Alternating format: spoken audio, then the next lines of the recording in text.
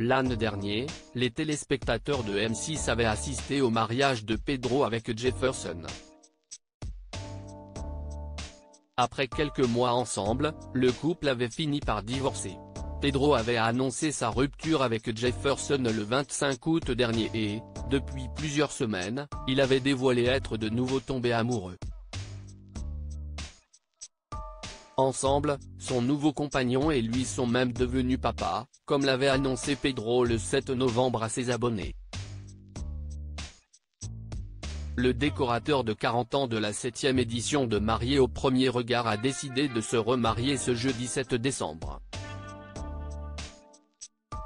Il a dévoilé aux internautes des photos et courtes vidéos de cette journée de noces. Pedro et son amoureux viennent de se dire oui, en présence de leurs proches. Sans jamais montrer le visage de son mari, la star de M6 a fait découvrir à sa communauté des détails de son mariage. Visiblement, le jeune couple a opté pour une fête en petit comité au coin du feu et près du sapin de Noël. La tenue de Pedro était également dans ce thème hivernal.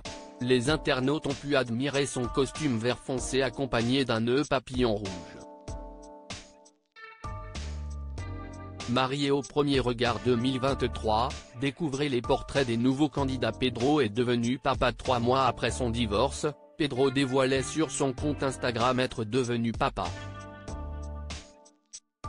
L'ancien candidat a déclaré, « Je suis heureux de partager avec vous cette très bonne nouvelle de ma, notre, nouvelle vie.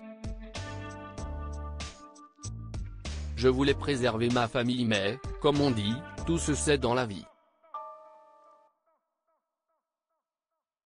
Du coup, je préfère l'annoncer moi-même sur les réseaux, comme cela commence à se savoir.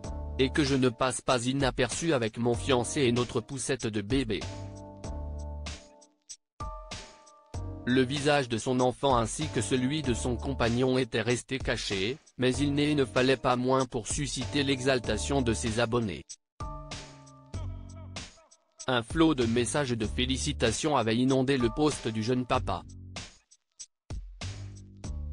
Article écrit en collaboration avec Simedia Crédit Photo, capture d'écran Instagram.